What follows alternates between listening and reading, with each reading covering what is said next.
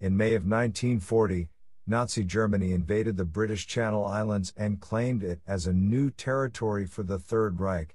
The stories of the thousands of people who lived through this occupation for five years are often forgotten to the rest of the world, but the memories still live on for the people who live in the Channel Islands today.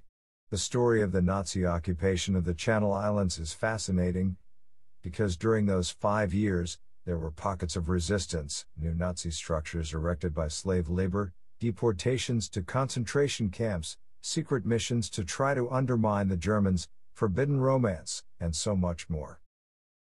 Number 20. The Channel Islands were left undefended. In 1940, Belgium and France had already fallen to the Third Reich. After the Blitzkrieg in London, the French and British governments evacuated the Channel Islands, they knew it was likely they would be taken over by the Germans. The British garrison had already left on June 15, 1940, because Churchill felt that it was far more important to have the troops, weapons, and supplies defending the mainland. On June 28, the Germans bombed the islands. There were 44 civilian casualties and 70 wounded.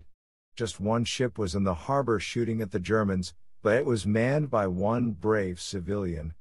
When the air traffic controller at the Guernsey airport first spotted the German airplanes landing on the island, the lieutenant calmly ordered for the British Union Jack flag to be taken down from its pole. Sir Alexander Coutanche, who was the bailiff of Jersey at the time, politely came out to give them an official surrender. Then, he went home to his wife, and they had dinner together. Number 19. Thousands chose to evacuate the islands. When the British government announced that they were basically going to give up the Channel Islands to the Germans, they gave every citizen the option of leaving on ships. Many children were sent to England without their parents, while they stayed behind to watch over their houses. The vast majority of the remaining population were adults, but some people chose to keep their families together. In retrospect, it almost seems obvious that they should choose to leave. However, at the time people truly debated their options. Some were afraid of the evacuation boats being shot by German submarines. The ones who chose to stay behind called the people who left cowards, and said that it was their duty to protect their homes. Over 25,000 people chose to leave before the Germans got there, but tens of thousands of people stayed, despite knowing the potential danger they were putting themselves in. On the island of Jersey, 41,101 people remained, 470 on Guernsey, 470 in Sark, and only 18 in Alderney. They did not want to leave their homes, or they may not have had anywhere else to go on the mainland. Those who chose to stay would later regret it, because the Germans did not show any mercy. According to one survivor, the German planes flew over the beaches in Guernsey and shot at a crowd of very young children, killing them all. Number 18. Citizens resisted as often as they could. At first, the German soldiers who took over the island were impressed with the immediate surrender, and they were totally satisfied that the British had accepted their fate and given up without a fight. They claimed that they would only leave behind 10 soldiers, and the leaders of the Channel Islands breathed a collective sigh of relief, believing that life could continue as normal. Some people tried to escape the islands on rowboats, but many of them were killed attempting to leave.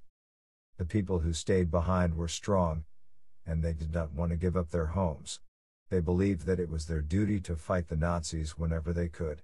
Two of the Nazi soldiers were murdered in their beds when they stayed at a hotel, and then the German doctor was killed when one of the civilians went in for a checkup. This changed everything. The Germans now believed that this peaceful surrender was simply a trap, and that they were trying to regain their control over the islands again. In response, they sent dozens of troops in order to try to keep the population under control. However, this did not stop more acts of defiance. For example, the airport controller on Jersey, Charles Rouche, ordered the grass to be cut to only 2 inches, which was not enough friction to land a plane, and it had caused German planes to crash land. Anyone who was caught defying the Germans, however, were either executed on the spot or sent to a concentration camp. Number 17. The British citizens lived under strict rules. Once the Nazis took over the Channel Islands, the British people were immediately made into second class citizens, and they were forced to bow down to the German way of life. The Germans enforced a 5 o'clock curfew every evening for all British citizens, and all citizens were made to carry around identification papers.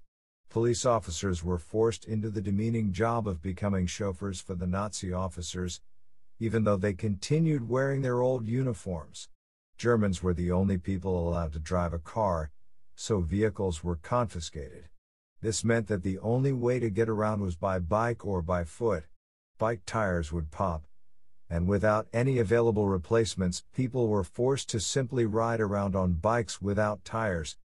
The children who remained on the islands were forced to have all of their classes taught in German, and all of the signs on the island were changed to the language as well. Clocks were changed to German time, and people were no longer allowed to use English pounds, and they could only buy things in Reichsmarks. No one was allowed to go fishing, because the beach was now filled with so many landmines no one could get anywhere near the ocean. Number 16. German propaganda claimed that life continued as normal. Germans cut off citizens' ability to communicate with England, so they never heard any news or instructions from their government. They were very literally all alone in figuring out what to do. The newspaper on the Channel Islands was taken over, and the printing press was used to publish a paper in German for the men living on the islands, and they instructed the editor to print their propaganda. Their instructions for what to say were written in their broken English, so the editor decided that he would not make any corrections and printed their propaganda word for word. This way, the English citizens would be able to tell from the broken English that this was propaganda, and they could not trust anything that was written in the paper. Of course, the Nazis did not believe in freedom of speech. A group of journalists attempted to publish an underground newspaper called the Guernsey Underground News Service, or GUNS for short. They listened to their radios to pick up on the news from England, and they published the truth in their own paper, and passed it around the islands. Unfortunately, these men were caught, and sent to concentration camps. Two of these men never returned home. Number 15 the island of Alderney was transformed into a concentration camp. One of the smallest Channel Islands, called Alderney, only had one small village of people living on it. Every single citizen unanimously agreed that they were going to evacuate and go to England. So when the Germans arrived, they saw this completely empty island as the perfect opportunity to turn it into one large concentration camp. At first, People who resisted the Germans were sent to concentration camps in mainland Europe, but after the camp construction was complete, anyone who disobeyed the rules was sent to the Alderney, since it was close by. No one was allowed to know what went on in Alderney, and even the Germans who worked there refused to speak about what they had seen after World War II was over. However, stories circulated quietly that prisoners were made to jump into the ocean to drown, others were tortured and executed. When the war was over, thousands of human bones were found all over Alderney Island, and divers found even more bodies in the water just off the shore. Number 14. Swastikas were painted all over the islands. When the Nazi soldiers took over the Channel Islands, they couldn't exactly decorate with the traditional flags, statues, and more. The war was in full swing, and while they planned to completely modify everything once Germany had secured their victory, decoration was not exactly a priority. So the Nazi soldiers settled for destroying any signs that the island was ever owned by Great Britain. They spray painting swastikas on the walls of buildings as a way to mark their territory. As time went on, the Germans would import signs and more symbols of the Third Reich, but much of that original graffiti remained for a long time. Of course, once the occupation was over in 1945, many of the Nazi soldiers were forced to clean up a lot of the damage they had made on the island, but the British people did plenty of cleaning, too, and they were forced to do a lot of maintenance and repair on the buildings that had been seriously damaged during the occupation. Number 13. Citizens lived on substitute foods and nearly died of starvation. Before the Germans had occupied the islands, there was an order to cull all of the cows, so that the meat could be handed out to the citizens. Some of it was handed over to the Germans when they were ordered to, but much of it was kept secret by the butchers. This only helped for a short while, obviously, and soon there was little to no meat on the islands at all. Sea mines were all around the coast, so citizens could not fish and get food the old fashioned way. Normally, farmers on the Channel Islands sold corn seed to England, but they were forced to plant it again and ground it into corn flour. The Germans gave them ration cards, and they ate what were called substitute foods. After D Day, one would think that British people got a lot of help from England to get back to normal, but the unfortunate reality was that food rations actually became far worse for the islanders. Without the Germans bringing in their supplies, they were left with a winter of absolutely no food. Even though the Red Cross did their best to help, people were surviving on seaweed and parsnip tea. They had to send a letter to England for help, but it took a very long time for the Red Cross to finally show up with more food. Number 12 the Red Cross saved citizens from certain death. By the winter of 1944, the Germans were not giving enough food to the people occupying the islands. The crops had been taken over by the Nazis, so no one was able to hold on to any supplies for the winter. This meant that people were starving, and they desperately needed help. A man named Tom Jehan explained to the BBC that inside of his house, as well as both his entire front and backyard was turned into a garden. He tried to plant cabbages and whatever else he could manage to grow, and yet it was still not enough to supply him and his family enough food throughout the winter. Despite being prisoners of Germany, there was not enough to go around, and the Third Reich refused to pay for anything the British people needed. In November of 1944, the military officials gave the bailiff of Guernsey, Victor G. Carey, permission to contact the British Red Cross and ask for help. He wrote the following letter Conditions rapidly deteriorating here will soon become impossible. We appreciate difficulties, but civilian population need urgent supplies of essentials. We urge immediate visit of Red Cross representatives. All rations drastically reduced. Bread finishes December 15th. Sugar finishes January 6th. Fat production much below subsistence levels. Ration of mild reduced to one third of a point per head by the end of the year. Soap and other cleaners. Stocks completely exhausted. Vegetables generally inadequate to supply civilian population through the winter. German consumption heavy. Salt exhausted. Clothing and footwear stock almost exhausted. Fuel, gas, and electricity finish end of year.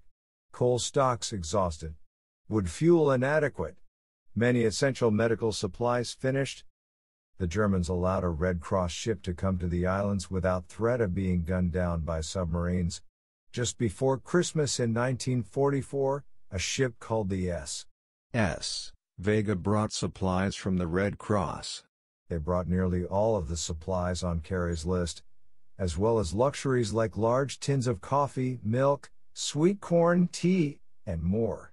They say that without the help of the Red Cross, they surely would have died of starvation during the occupation. Number 11. Operation Ambassador attempted to infiltrate the islands. In June of 1940, the Germans officially occupied the Channel Islands, and the British gave them up without a fight. Secretly, behind the scenes, Winston Churchill was planning to send some of his new secret agent commandos to the Channel Islands. The original plan was to raid the island, but after they learned that the Germans had already fortified the island, it made their plan a little more complicated. From the 14th to the 15th of July in 1940, men from the newly formed British commandos planned an attack on the German airplanes in the Guernsey airport. Lieutenant Hubert Nicolle was a Guernsey native who wanted to be one of the first commandos on the scene. They arrived in a submarine, and Nicolle was able to discover that there were only 469 German soldiers occupying the island.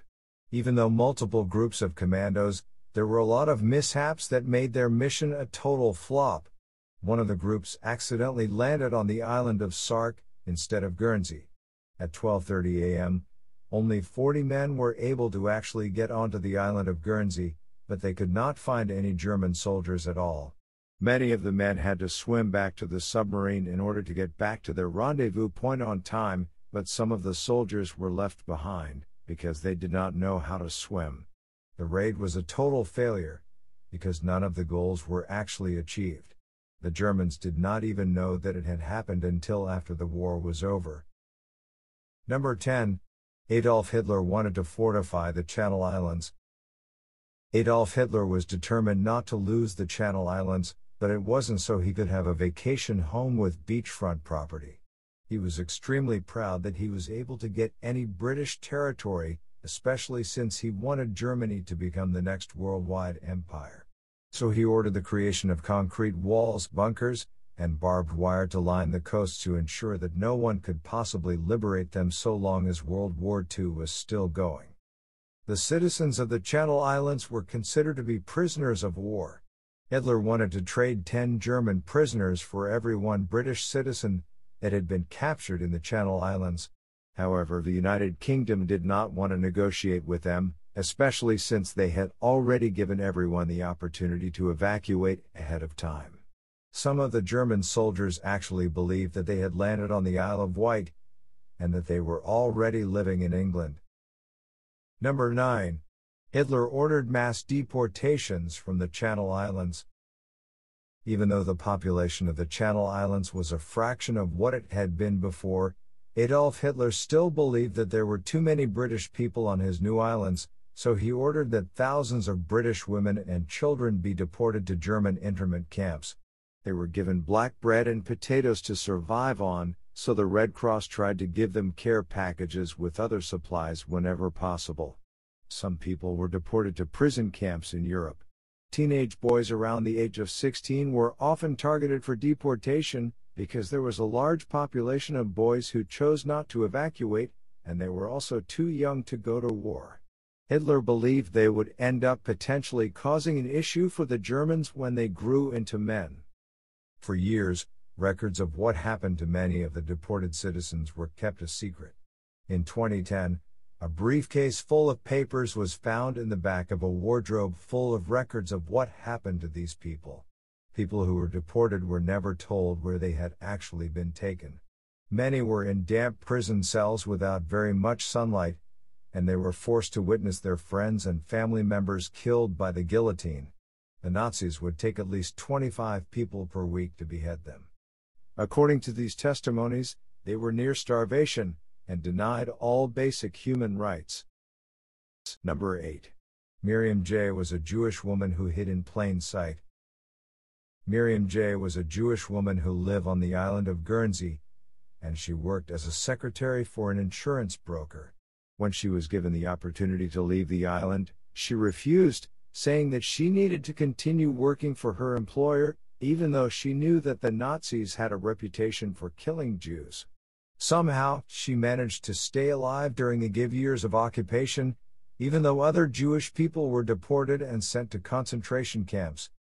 According to the BBC, a German man named Advocate George Ridgway was living in Guernsey since 1935.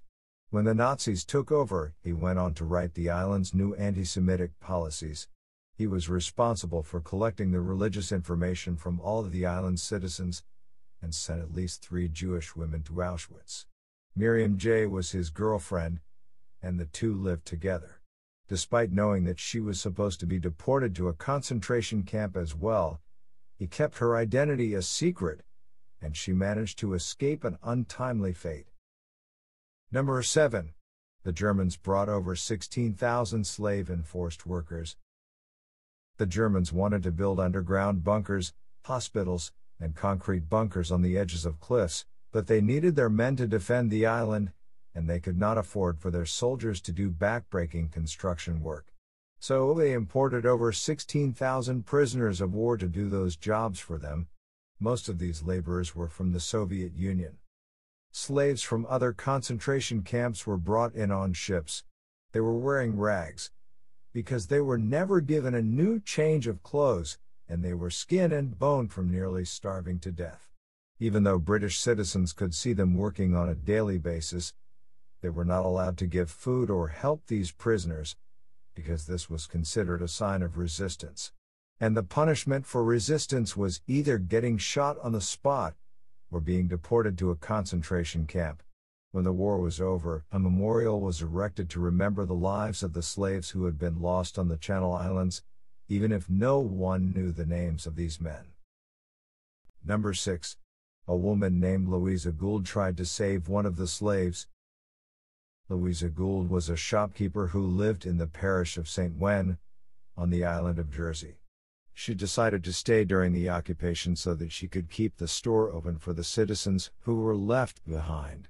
She secretly kept a radio in her home so that she could hear the news from England, and she was a member of the Channel Islands resistance movement. In 1942, she rescued a Russian slave who had escaped named Fyodor Polikarpovich Burii. She successfully hid him in her shop until 1944 and told everyone that he was her friend named Bill.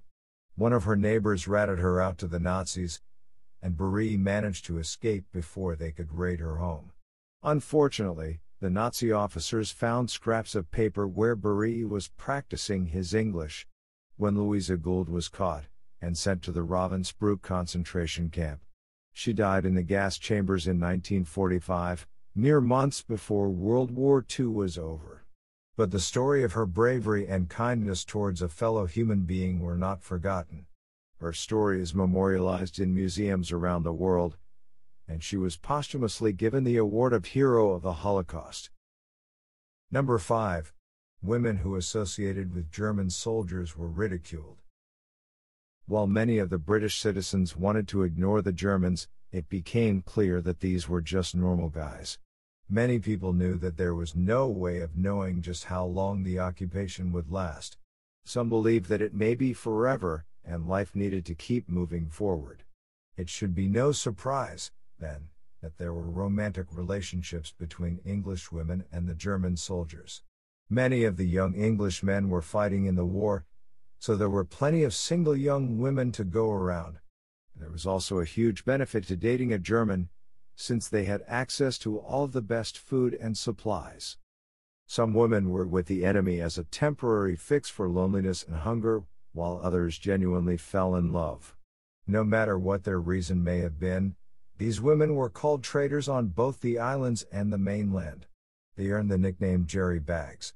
There was a rumor that as many as 800 women living in the Channel Islands were sleeping with German soldiers, but that number has been grossly exaggerated, and most believe that the number was closer to 200. Even years after the war was over, people still spoke negatively about these Jerry Baggers. Number 4. Hundreds of children of Nazi soldiers disappeared from the Channel Islands. Since hundreds of women had relationships with Nazi soldiers, it should be no surprise that plenty of half German children were born out of wedlock in the Channel Islands. There were 174 recorded births of Germany children, but some speculate that the true number of half German births could have been as high as 700. Women were ashamed of their half Nazi babies, and many of them would have at home births to keep them off the record. Women who were not married were not required to put the name of the father, so they simply left the birth certificate blank. Many of the children disappeared into orphanages, or sent away to live with other families. There were rumors that since the Third Reich wanted to create a perfect Aryan race, some of these children were taken into custody and brought over to Germany. Despite being ashamed of these illegitimate children, there are some women who manage to hold their heads high and raise their children as British citizens, despite the whispers going on behind their back. Number 3. In May 1945, the islands were finally liberated. In May of 1945, World War II was finally over, and Adolf Hitler was declared to be dead. British planes flew over the Channel Islands, and people cheered, raising the V for victory everywhere. Despite knowing that the war was truly over, an overzealous German Lieutenant Zimmermann refused to give up the islands on behalf of the Nazis. He tried to ask for an armistice, rather than a full surrender. But under threat of death, he finally handed over the control of the Channel Islands back to the United Kingdom. The German soldiers who were left behind were forced to clean up the landmines on the beaches, to ensure that no British citizens were putting their own lives in danger to clean up the beaches. Finally, people could walk near the ocean, fish, and enjoy living in a vacation area once again. The King and Queen of England both visited the island to thank the people for staying strong, and they were met by cheering crowds. There was a parade, and people were extremely happy to finally be part of the United Kingdom again. For many people who survived the occupation, their lives were completely ruined and would never be the same. Many people filed lawsuits against the German government, demanding compensation for their losses. Number 2. Today, Channel Islands citizens want to preserve the history of occupation. Even though the Nazi occupation was a dark time in the history of the Channel Islands, locals who stayed behind to defend their home are incredibly proud of the fact that they survived living with the enemy for five years. This is why they never tore down the Nazi bunkers and chose to repurpose them, instead. Many of the structures above ground that were created by the Nazis have become restaurants and cafes, while others were preserved as museums. Today it is possible to take a tour of the underground Nazi tunnels and bunkers. Even their incomplete underground hospital was left exactly as it was, complete with beds and uniforms hanging in the closet. The modern day Channel Islands Occupation Society has a huge group of historians and volunteers who work together to comb through old records and artifacts to discover any new information that may uncover. They are also passionate about sharing the stories of the occupation with students and tourists, hoping that they can pass down the history to every new generation. Number 1. The Channel Islands occupation is a look into an alternate universe. History buffs love to ponder the what if questions about the many different things that could have happened before, during, and after World War II, and authors like Philip K. Dick have made their living writing about alternate history. And since they struggled so much after Dunkirk and the London Blitz, it is understandable that British people breathed a huge sigh of relief that the Nazis did not actually manage to occupy England. Today, the story of the occupation of the Channel Islands is still fascinating to a lot of British people because it is an example of what would have actually happened to England if they had lost to the Germans. People don't really have to imagine it because they could see a real example of what really happened in real life. We can be thankful to know that it never actually became a reality.